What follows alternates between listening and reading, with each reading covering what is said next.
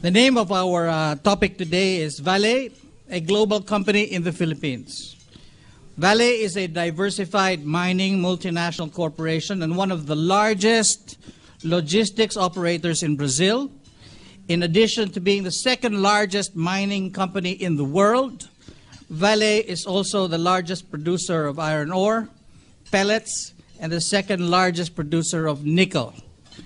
Ladies and gentlemen, put your hands together and join me to welcome our main speaker for today, the person you all came here to hear, Fernando Moya, Exploration Manager of Vale Philippines. Thanks, Leo, for. Oh, nice to see you again. Thanks for the lovely introduction. Very detailed, indeed. Um, ladies and gentlemen, good afternoon. I hope you're all enjoying the lunch. I believe there's still some room for more. So it's, a, it's not a heavy meal. No, uh, there's a lot of information, but I think it's going to go down smoothly and uh, going to be easy to digest. Uh, Kevin, congratulations for the event. I think it's a large crowd. It's a good kickoff. Um, uh, well, me too, know, for the inaugural presentation. Uh, and then I think was uh, I thought it was a great idea. You know, Vale is um, well, it's a large, it's one of the major mining companies in the world. That we are here for a few years. Um, nobody, I mean, not everybody know much about us. And uh, when I moved here, you know, people saying Vale, Vale. Uh, you got it right, Vale, not Vale. So Vale is a Brazilian mining company. And then uh, we are in probably more than 30 countries, about 21, 22 in exploration. And then today, what I want to do is um, is an institutional presentation. Right? I added a few more slides. The idea is to level, you know, the knowledge among yourselves and people, so people can learn more about Vale.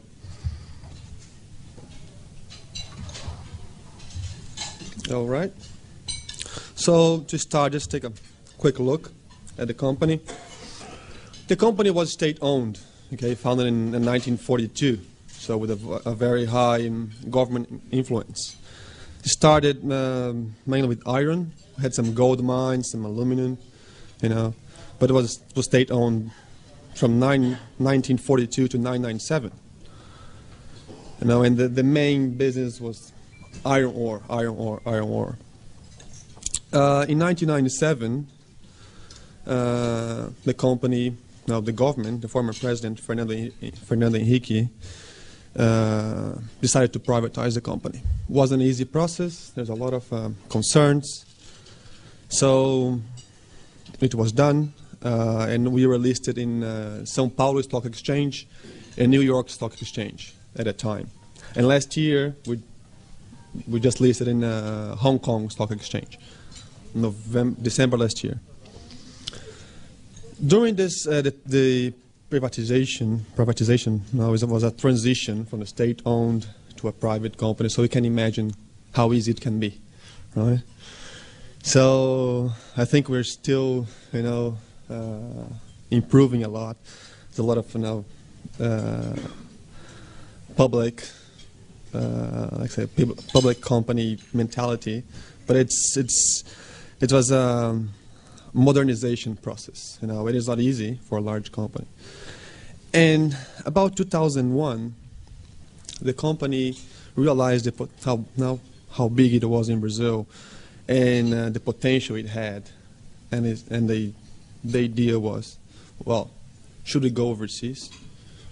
Should we diversify? Know, we're going to take the risk.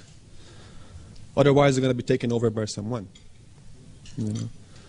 And they decide to go overseas, cross the boundaries, and uh, invest. Of course, iron ore is the, the main business, so getting income, and then we can invest in other commodities. Um, during 2001 to 2010 was uh, accelerated growth, so it's a very aggressive targets, you know, focus, focused on a, on a profit and value creation. Um, we had a new organizational structure. I think I, I can tell like every year we had like two changes. You know, still we're still getting you know there um, with a better defined governance, focused on a strategic position to be a global mining, in one of the you know, large mining company, and we had to increase the portfolio. You know, to become a, one of the large mining company, you, you know you need to deal with the multi commodities. And 2010, you know, we are you know, one of the best mining companies and the largest mining companies in the world. So, and uh, the idea is to continue, the strategy is to continue the implementation of the largest portfolio and to become the best and largest and most sustainable mining company in the world. So here's snapshot, you know, where we were in um, 1997.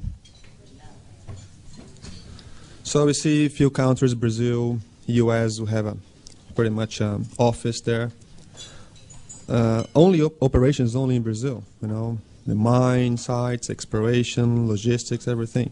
And you see in the, you know, in, the, in East Asia here, China and Japan, which were our clients. And um, well, we also have some joint ventures with the Japanese companies on um, steel steel plants in Brazil. This 1997. Well, here's about 10,000, 11,000 employees, including third parties.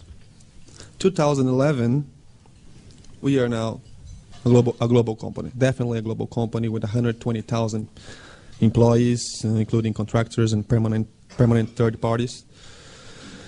Well, you can see here in South America, you know, you know, almost in all countries, with various offices. You know, the head office is in Brazil, is in Rio, and then we have uh, Carajás, probably most of you or some of you heard about Carajás. Carajás is a multi-commodity mineral province, you know, where the one of the, the our largest uh, iron reserves are, about 20 billion, you know, reserves at 55, 60% iron.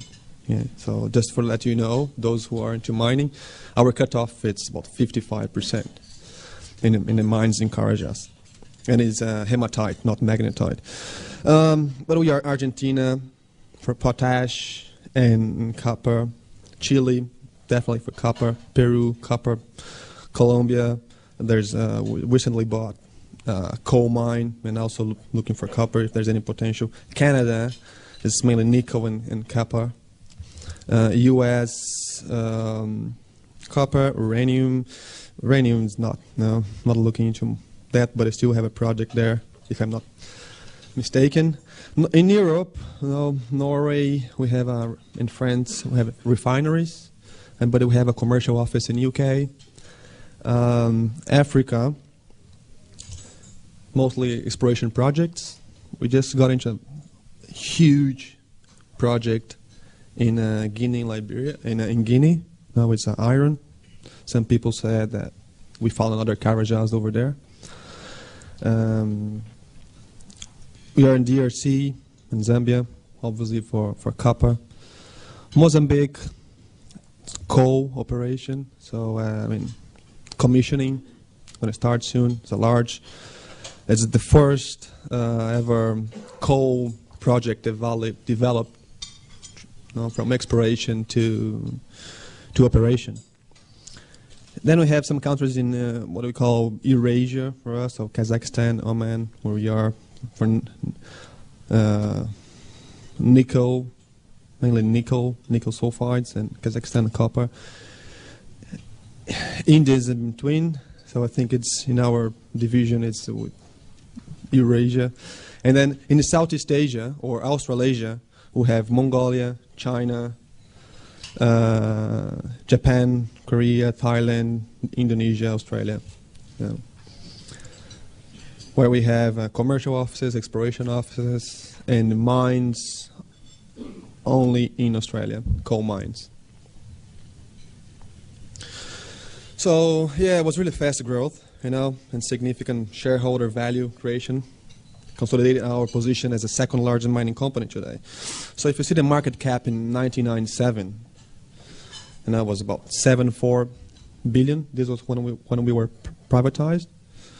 Okay, you see Rio Tinto with a 20 something you know, billion dollars cap, BHP, Anglo, you know, the three three majors at that time. And, and it's interesting to see the graph is you know the the bars here are aligned, but it's 100 times bigger. So for 30 billion, we're talking about 300 billion here. BHP now joined, merged with the Billiton, and it's still the first and a very, you know, solid company. And Vale, by March 23 this year, market cap was 165 billion dollars. Okay. We already reached 180 billion, but we've never been the, the, the largest company. Just before the crisis, I think it was about 180 billion. And uh, followed by Rio Tinto, Xstrata, Anglo American, also other large, very uh, large companies. So since 2001 to now, we can have an idea about how strong was their performance. Now, in terms of revenue, from four billion dollars in revenue 10 years ago to 46. It's a record in the history of the mining industry.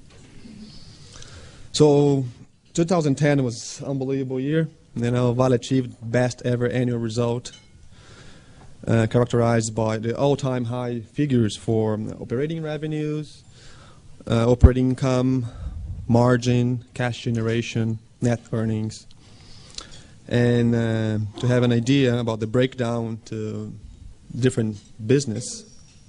So iron ore, of course, is the major, know, representing about 57% of our business in terms of revenue. Nickel, 88.3%. Fertilizers, now it's quite a new business for the company, and we're doing quite well and investing a lot in fertilizers. Copper, is small, but uh, it's where uh, that's the commodity we're really looking into. Logistics, Vale is now it's um, three percent. Vale is a major um, is, the is the largest logistic companies in Brazil, like uh, Leo mentioned. Coal, you know, is also part of our strategy, and others would include um, aluminum, manganese, uh, steel making, and other other business.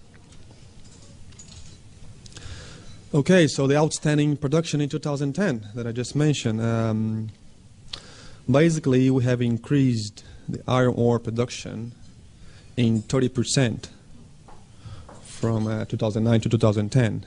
Nickel, interestingly, reduced.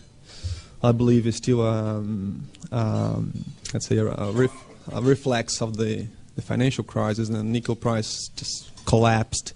Stockpiles were pretty high. So I think the production was uh, lower.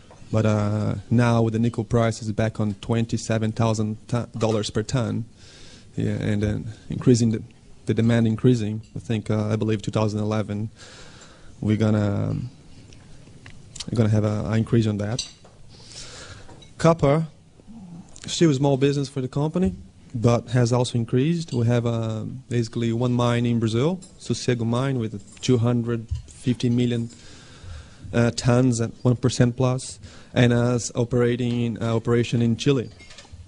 And coal, also a new area, rel- relatively new area for us, but we continue to expand and uh, increase the production. So numbers are not so high, but the increase was about 27%. Here, just you know, a photo of Carajás um, mine. It's not only one mine; it's about you now seven pits. Now they they are connected. You know, that's the whole operation. So this is in the Amazon in Brazil. For your idea, this yeah, this is one one k.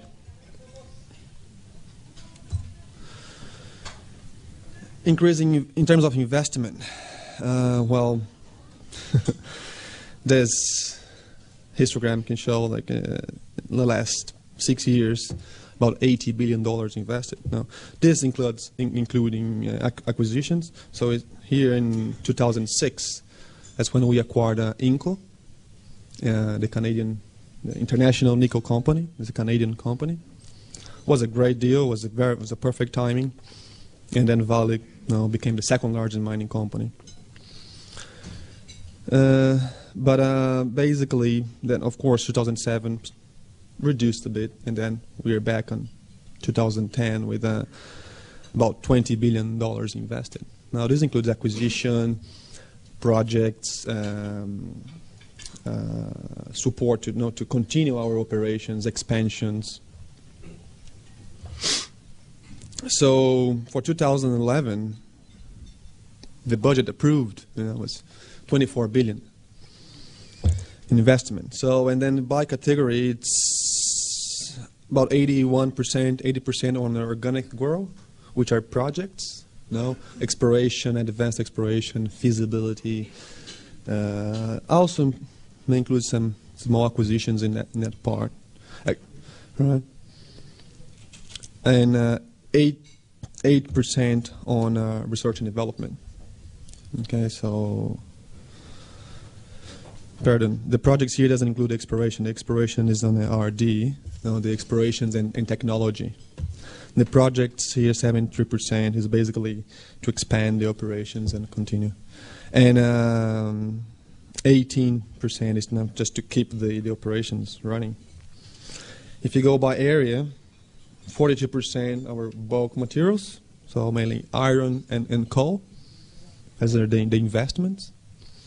Logistics, about 20% we're going to invest. We're building 12, we call China Max.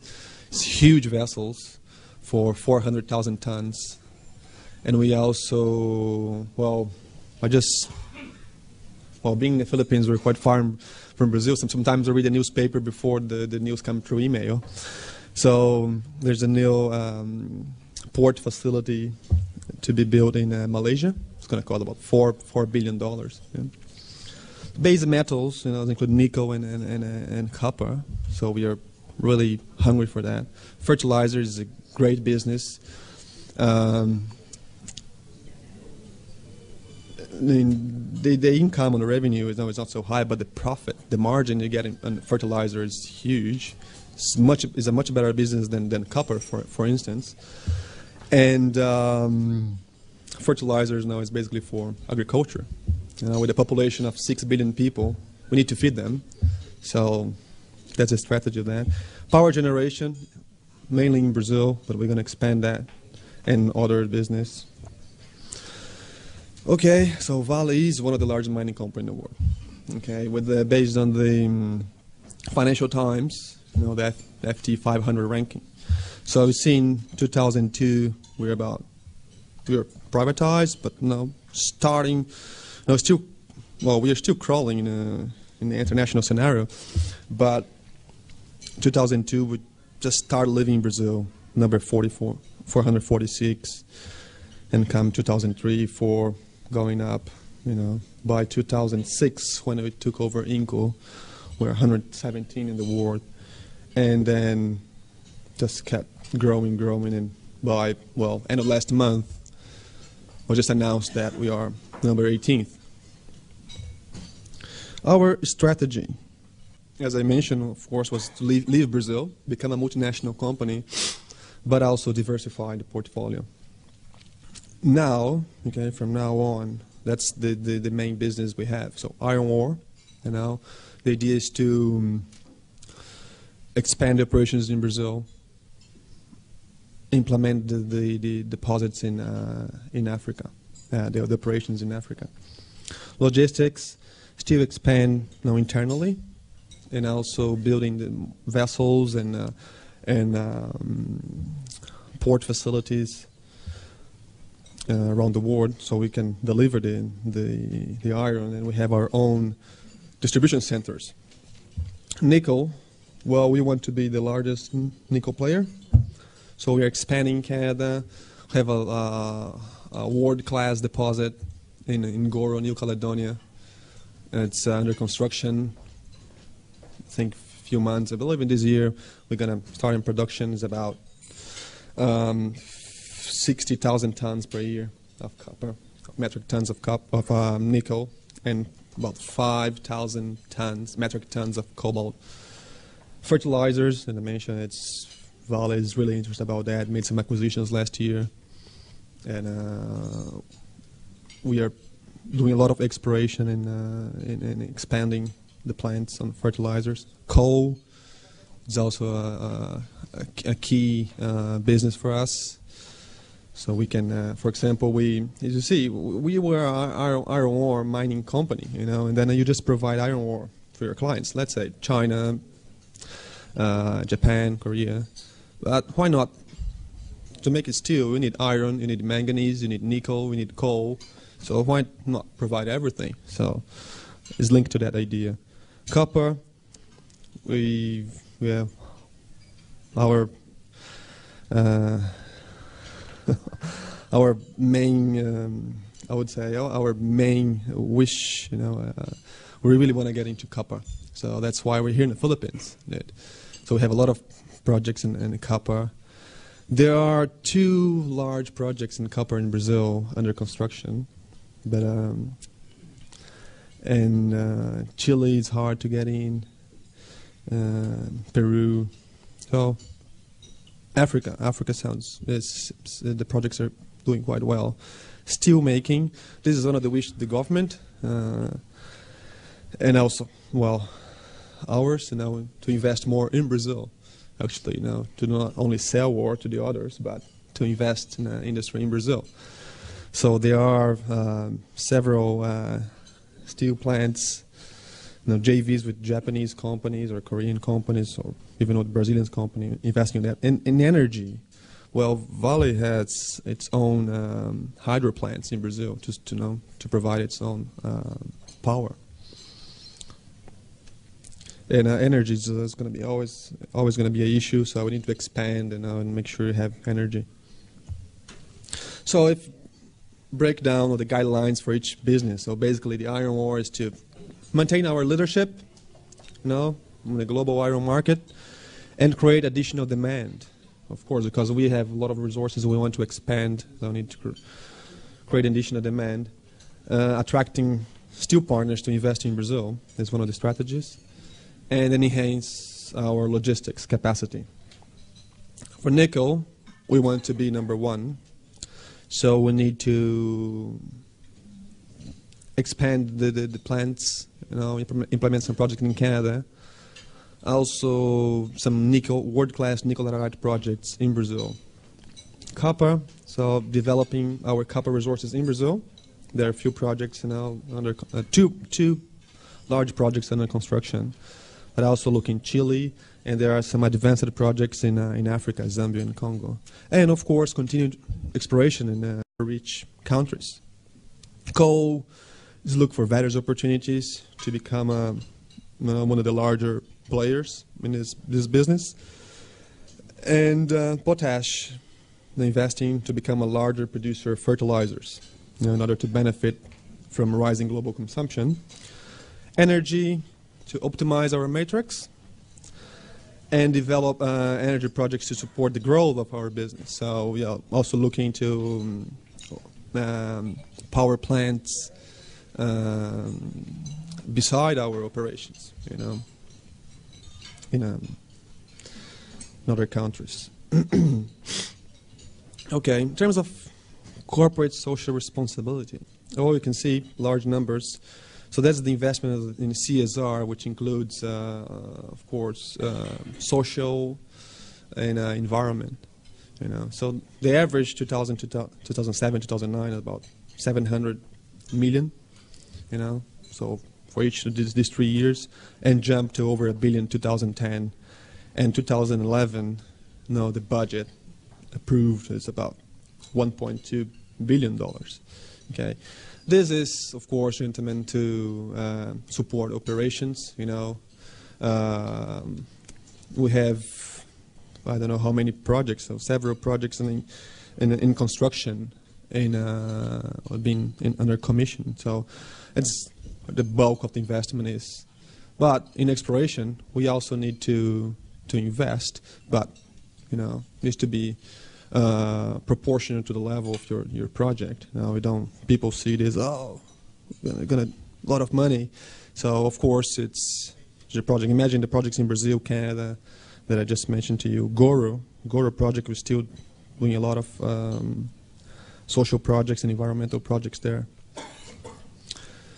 So Vale wants to build strong, you know, and with the open relation, you know, open relationship with the communities, and to su- su- succeed, you know, to celebrate and share the success by creating, creating jobs, you know, educating and investing in the communities. So some some examples, it's job creation and economic growth to the country, you know, with a commitment to employ and train local workforces, environmental um, conservation initiatives. They will see a few slides ahead. You know, some beautiful examples. Uh, all our mines are ISO 14001 certified. Social outreach programs, you know, different projects. You see in the photos here, you know, of course, about education, but also creation, creating um, business opportunities for local communities. Education, uh, education and cultural programs, and social investment activities. Uh,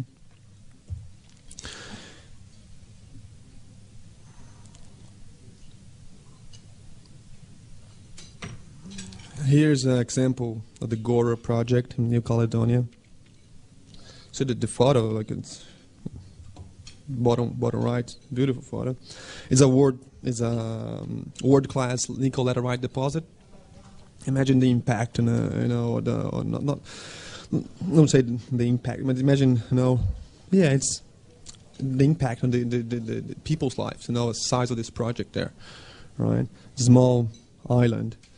Um, um, and one of the concerns well, of the, the community was about they, they were losing the, the dialect or the language. Okay, so basically, when you engage community from the very beginning, you start understanding their concerns. When you start doing exploration and, uh, and, and construction and, and, and, and when you're going to start mining. And then this is on the top right, just a photo of the guy collecting some words from the, the elders, you know, to understand uh, and to help the, the, the people, you know, to preserve and to promote the, the, the so-called uh, Kanak, Kanak, Kanak language. Yeah. And this, this initiative is an example of effective engagement with the local communities through the participation and expression of the, their cultural and and linguistic heritage. Here's another example in um, Mozambique. Uh, it's, a, it's a coal project that I mentioned. We are um, uh, is under construction. I think it's, it's going to start operation uh, this year. This is an example about resettlement. So we're talking about 1,300 families, about 6,500 people. Okay, so with a family income with less than $100 a month. You know, in the profile of the community, uh, the, the, the, the, people in the country is about 70% rural and 30% in the urban zones. So you can see on the top right, you know, how are the houses before. That's some examples of the house that Vale was building for the community. In the center here in the bottom is the, um, the village still under construction. And on the left side, you know, the hospital, uh, the Mines Institute, and the orphanage. So this is just a few examples that, you know. Still on social responsibility, uh, we find vital, you know, uh, early community engagement, to engage the community from the very beginning. So when you start exploring. So we do engage the communities near and around the, the projects we are since the exploration stage. So, so that we can understand know, the social dynamics and uh, the information they need, when, what are their concerns. We can educate and inform them what is exploration, what is mining. You know, it's it's oh, is the main thing actually. Living in the Philippines here for, you know, for two years and uh, uh, working, I've, I've, I've traveled quite a lot. Went to the provinces and, and you see, this is one of the now the, the the major issues, you know. And then, of course, there are some other concerns and, and myths, you know. And, but to educate people, make them understand what is exploration, what's mine, okay, how are we going to impact them here in exploration, you know, how are we going to affect them, you know, or how they can benefit from this uh, at this stage. You know, and we have to manage expectations. Need to manage expectations. The exploration project, you know, it's oh, mining is, is gambling, right? It's, it's a risky business. So, we, and the companies uh, are willing to afford to invest a few million dollars to do exploration. But after two years, now if you don't find what you like, what you want, just go away, right? So, you need to bring expectations down, and uh, we'll, we'll lay on a solid foundation of trust and mutual respect to build for on, a, um, on for possible next phase of the project. So you need to have a solid institutional relationship. You know, starting with the the, the LGUs. I mean, give an example in the Philippines, and we need to deal with the local local government and barangay council. They need to understand what they're doing. You know, and of course, next step would be the people. Here, an example of the our engagement uh, in in Masbate. Okay, so I think in about six months we probably reached more than four or five thousand people listening to us in six months in 40 something barangays, 43 barangays. And this year, from from yeah, from December to February, another project in Panay. About 1,000 people have attended our our uh, talks, presentations on environment, you know, as a large company, you also need to uh, respect the environment and you know, have on our environmental responsibility. We we do recognize as an, as as a large company, as a mining company, our operations now does affect the environment, you know. But to reduce our footprint, you know, we continue you know, looking for um, new ways uh, or alternatives to preserve the balance between human progress and the natural environment, and actively educate and train people for environmental uh, responsible action. So, examples of um, of um, environmental action. So, of course, a responsible operation. Nowadays, you know, with technology, it, is possible to have a large operation and have everything controlled. Okay. Uh, reforestation, definitely. Green-powered transportation. For example, Vale, it's uh, use a lot of biomass fuel in its locomotives in, uh, in Brazil. Mm. And responsible waste management. This is uh, another example in southeast uh, southeastern Brazil, the state of Espírito Santo, where we maintain a natural uh, reserve with approximately 220 square k's, now with a vast fauna and flora, you know, various species. So since uh, since the reserve was created in 1970, 1970s, 996 new plant species have been discovered.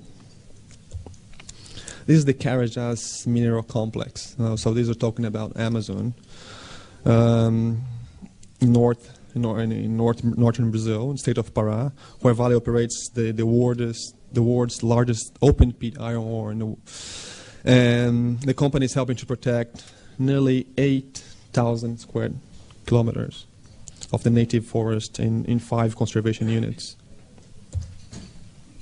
Another shot, you know, protected rainforest is part of the Carajás mining complex. I, I, people people love to compare things with Belgium. Uh, I don't think it's fair, uh, but uh, uh 1.3 billion hectares. Uh, but of course, Belgium is not a large country, small country, but you know it's 1.3 million hectares is not small. Um, in this this particular this particular reserve, know, it's about 2,000 uh, species of plant make up the flora. You know, it's about 22 hectares, 22,000 hectares in the area. You know, 20,000 species of insects, spiders, mammals, you know, birds. So of course, there's um, and we work together with uh, institutions, uh, universities. You know, there's a lot of research uh, uh, being developed in these areas maintained by Vale. Here's an interesting sequence of slides. Okay, so please uh, pay attention to this area here. Now, the yellow um, outline. This is the Carajás complex. That's what we call Carajás complex. This is satellite image. This is a snapshot in 1975. So as I said, the Carajás mineral province or Carajás region you know, is one of the world's largest mining complex. Okay, so here all green is forest, red roads, blue rivers. The white lines are municipal boundaries, and here white is basically urban areas. 1975, folks. 78, 75, 78. Uh, grow a little bit ar- along the roads here. 85, 10 years later. Okay, so of course, growing from the roads towards southwest. 1990, 15 years later, you see how the the deforestation for urban zones or mainly farming. 20 years later, 1995, see all this pink, where's my mouse? All these pink areas, it's deforested, you know. Here, still intact. 1999, growing, 2004. So almost 30 years after, you know, the forest preserved by Vale within Carajás remains intact. Um, and you can even see the footprint of the mine. This is the area of Carajás, but the mine that you saw in that, that photo later with the 1K scale with seven huge pits. You know, you can't even see that. Here's some examples, you know. Um, well, if you see the, the, the, photo on the right side before, like you wouldn't even say that was a was a pit before, you know. But that's how re rehabilitation can work. Okay, so we see on the left, it's not a pleasant view, but it's a mining operation. This was taken in 2001. Three years afterwards, if you drive by, you wouldn't you wouldn't even mention. Here's another mine, so you know you can see what can happen to the mine at the end, at the closure. Nice other example of a gold mine on the top left. Of course, the mining operation. You know, um, then the mine was finished on the on the bottom, on the top right. Of course, the water level just went up.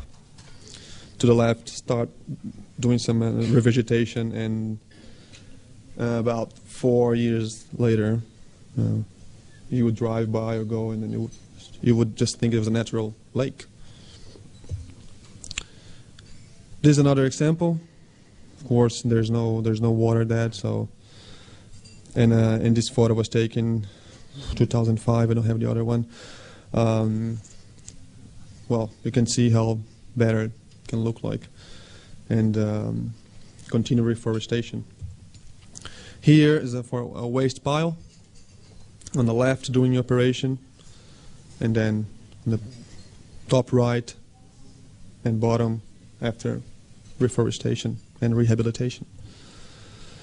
So yeah, Vale is a global leader regarding sustainability and climate change management. So do you know, as a result of all these initiatives, yeah, we, we we've been awarded, you know, um, a lot of prizes from um, some um, Brazilian magazines and also international awards, like uh, as a world leader among all mining companies in the climate change ranking of Goldman Sachs.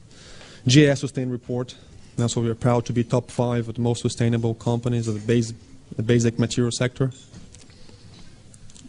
United, United Nations United Nations Global Compact, so in 2008 Sustainability Report, recognized as a notable notable commun uh, communi communication on progress.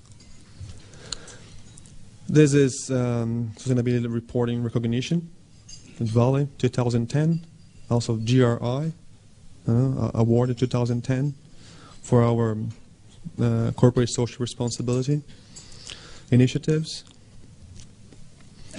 Logistics. Well, Vale is um, major logistics operation, uh, operator in Brazil.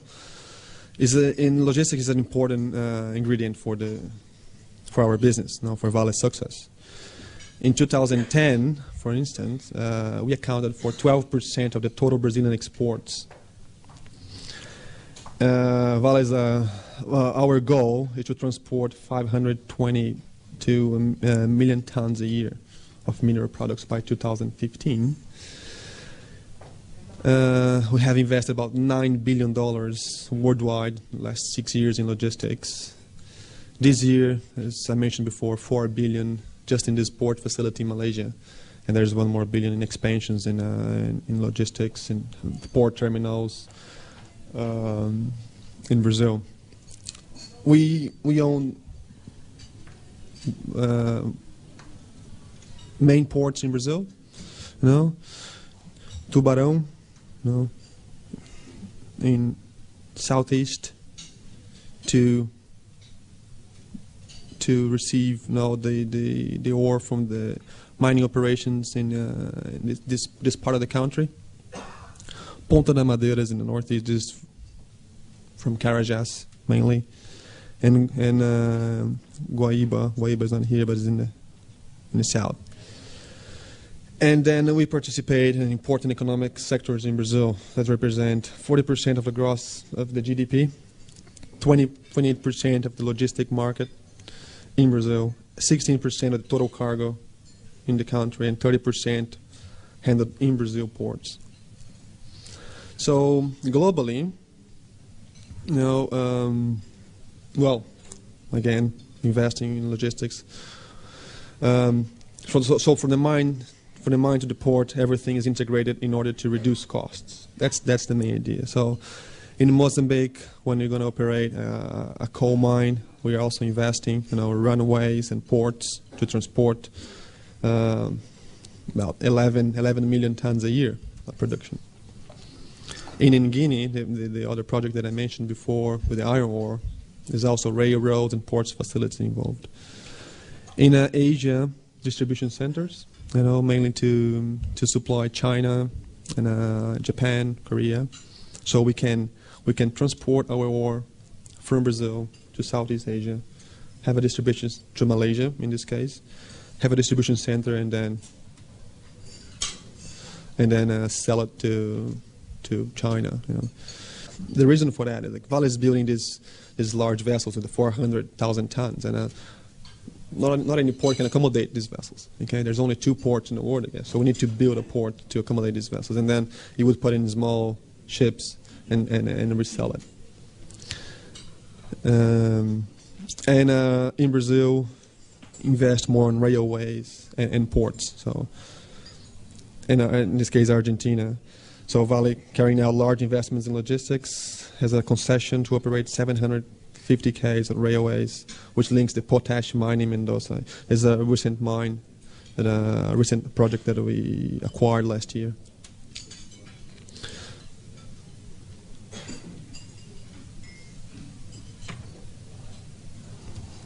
So just a quick look in the Philippines, what we're doing here. So I came to the Philippines in 2008.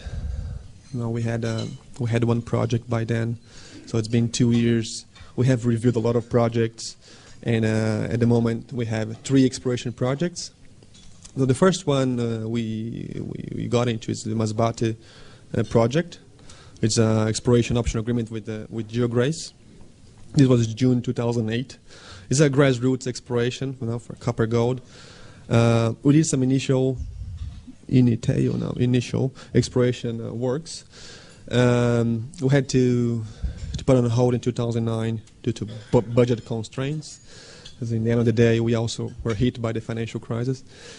And then, of course, we were fighting for the exploration permit. It was granted recently, and we are just resuming the activities there. Uh, then in 2010, last year, there's an option agreement with uh, Royalco. This project in the North Benguet, 15k south of Mankayan, Lepanto. It's a target generation and you know, drilling project. You know. Um, that's the this, you know, where we are now, and uh, exploration is ongoing. We have been drilling. We have two rigs there. And the Panay project is our own, well, was our own application. Now it's our own EP in uh, in Panay, this island in Visayas, Iloilo province. So it's a grassroots exploration as well. Um, so this year, you know, I think we can uh, generate targets fairly quickly. So um, hopefully, be drilling this year too. So in the Philippines, you know, Vale, uh, I can I can tell I, can- I can say in behalf of the company that we are committed to social and environmental sustainability in all our, our activities here, you know, and to assess, you know, long-term investments in the country. yeah, well, we we all know that we, I think for this public here, uh, that we need net, we need resources, we need raw materials, right? and um, but not at any cost. Nowadays, 2011, you know, for you to be uh, for you to mine, need to be responsible. You know, it's, this is not, you know, this is serious. Okay, so this is this is serious. Uh, you cannot develop a, a large project without caring about the environment, without caring about the people. Even if you don't have a, a solid project, you know, even the banks not finance you. You know, so for you to develop a project, you need, no, you need, of course, you need the resources. You need to find the resources. You need to, to have the money to develop and get the technology. But you need to work on the social side and look look after the environment. Okay, so just to finalize is the message, uh, the message I want to pass, which is also the institutional campaign of the company, is that there is no future without mining, and there can be no mining without caring about the future. Thank you. Uh, we have about 10 minutes uh, from my notes. I see that we have about 10 minutes for questions and answers.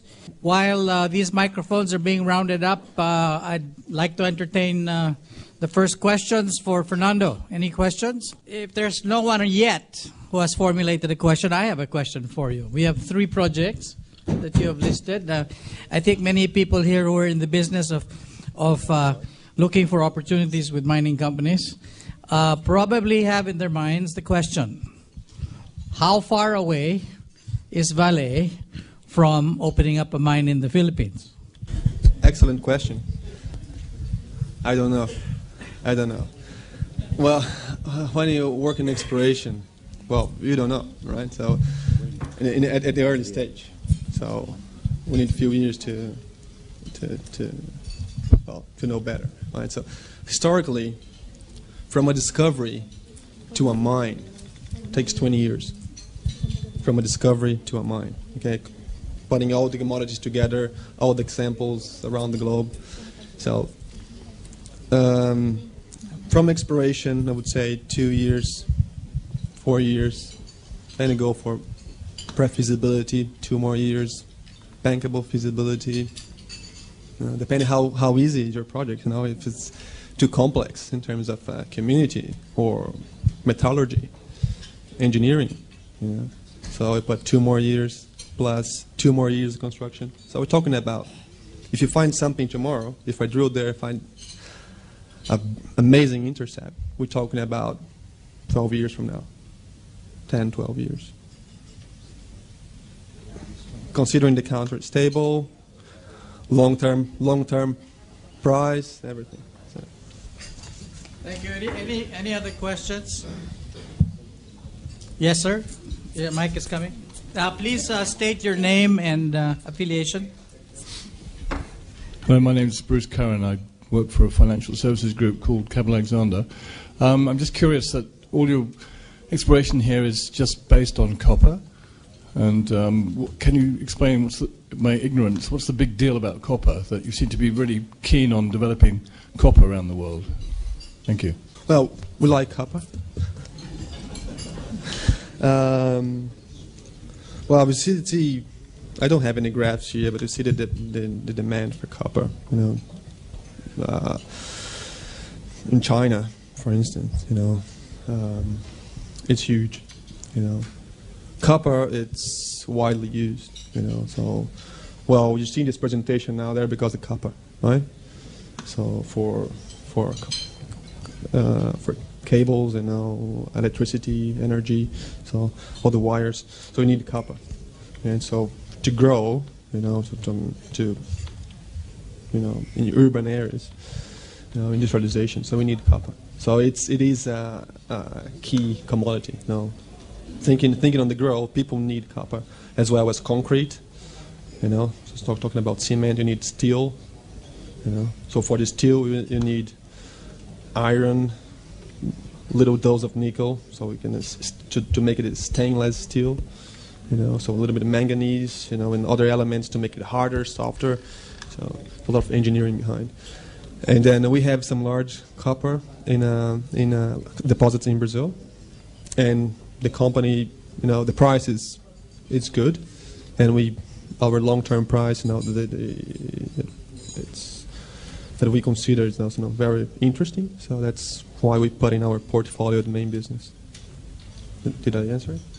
Thank you. Uh, other, I I have to comment on copper. I, I several years ago heard uh, Robert Friedland uh, talk about uh, copper, and he called it the green metal. And then he puts on a photograph of a hybrid car.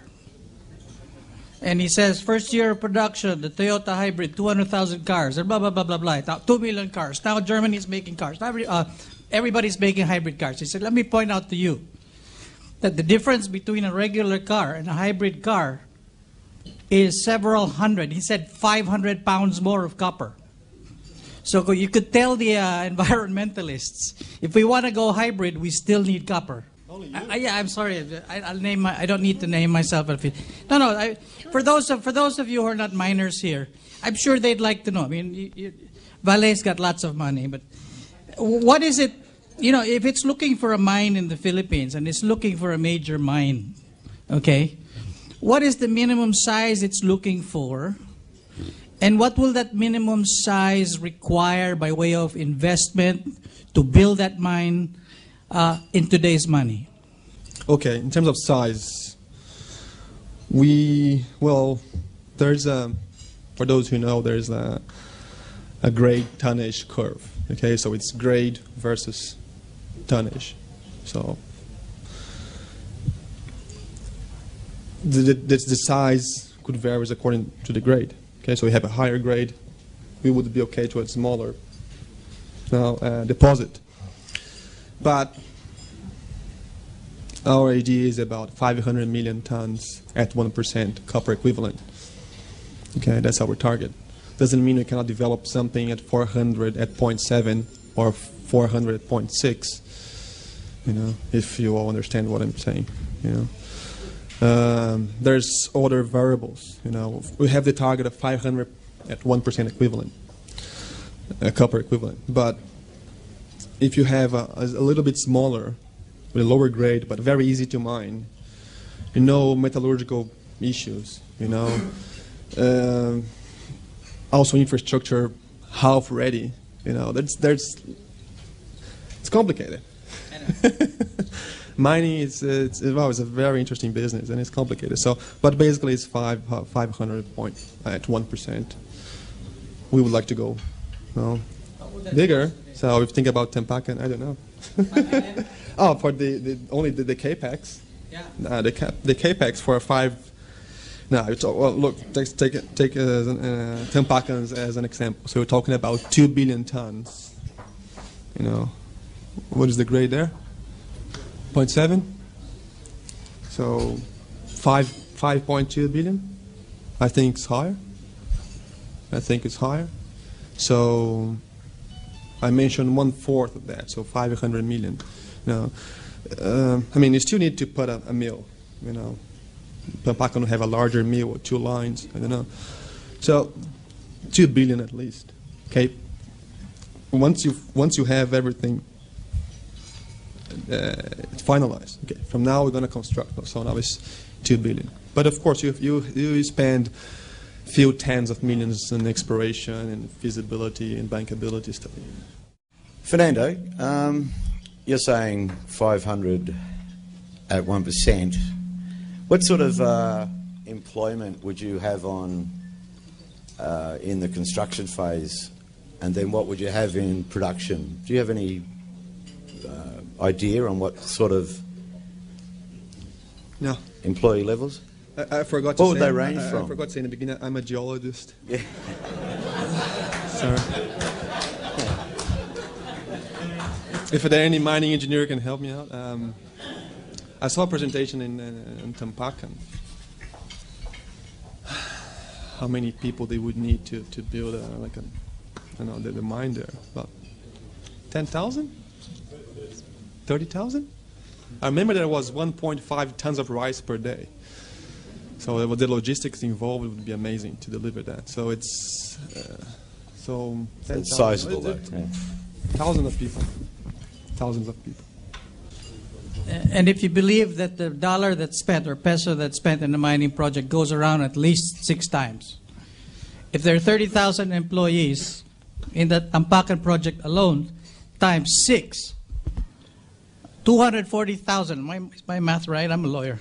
240,000 jobs will be generated out of that investment. Am I correct? Okay, or something like that. Uh, I was I was speaking about jobs and inflation. You know, I inflation's everywhere. And uh, just the other day, I ordered a thousand peso steak at a restaurant, and I said, put, "Please put it on my Mastercard." By golly, it fit.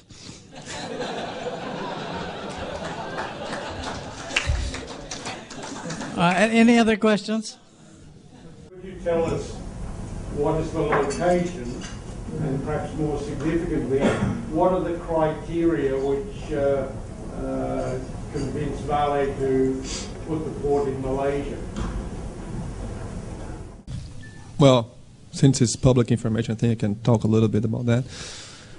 Um, I don't remember the exact location. Sorry, uh, Paul. Um, I can get it to you. Okay. That I mean, I don't remember the name and how pronounce it. So, uh, but uh, the idea is, uh, you bring the iron ore from Brazil, okay, and uh, well, we had the traders, right? Norwegian company, so I have the traders, you know.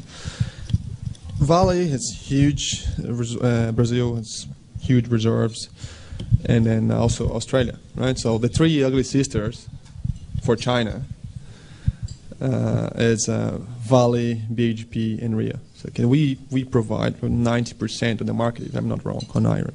Okay, but Vale, uh, the the buyers pay a, a bonus, like pay like a um, premium for Vale's ore because the grade and, and, and the material. Okay, so the only disadvantage for us is the geography. Okay, so then Vale realized that, started building our own vessels, but larger vessels. And of course, would be much better to deliver straight to the client. Who they are? Mainly China, but Japan is also buying a lot of you know, iron ore. So China. So we tried. I think I'm not sure, but I'm, I don't get much involved in that. But of course, I hear, you know, in those workshops and so.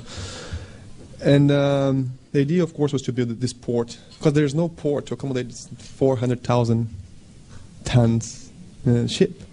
You know, so we need to build that, and no one's going to build for you.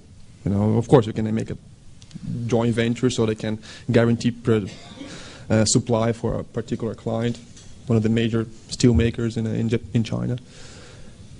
So we were trying to make to, to build in China and have a distribution center there, but it's not easy. You know, China nowadays they buy the iron ore.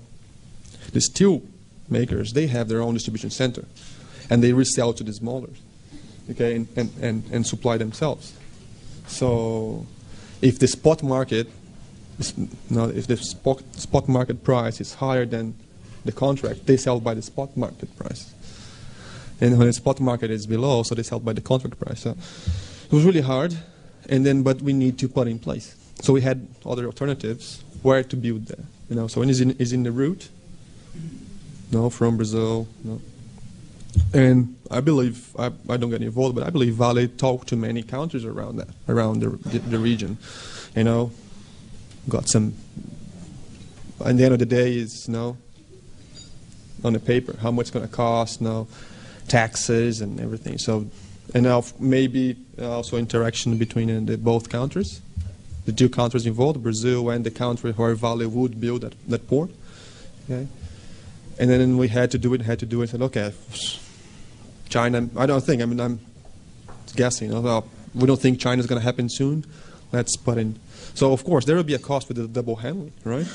But I think the company still, you know, think it's profitable, and you know, so it's okay. Just a brief follow-up, Fernando, I confess to uh, early involvement in this issue. Um, on behalf of Vale, I would have to do some investigation on the the port site in uh, northern Mindanao. Um, and um, water depth was very favourable at deck. There were some issues there with availability of sufficient area.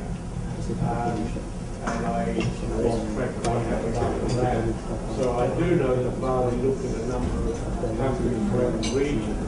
Therefore little bit intrigued as to why Malaysia, as opposed to an alternative site, say, in the Philippines or some other obviously, uh, ports not your area of expertise. You know, and uh, believe me, you know, if if there was any research, you know, I mean, if someone came in here and, and probably the, this department, they don't they don't even know that I exist, you know, and that I'm in the country. So it's, you know, It's a big company. yes. Uh, Alan Blackley from uh, QED.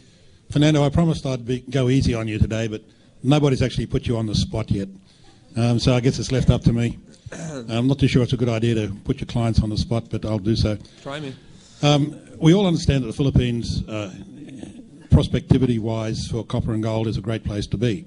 But from your point of view in exploration, and I am putting you on the spot, what would you see would be the, your greatest challenges uh, in getting your projects up and running here in the Philippines? Well, that's a good question, isn't it? Um, definitely, you know, that's that's why we're here. Okay, so we see, uh, Anglo has pulled out. Well, Rod's still around. He's not here today.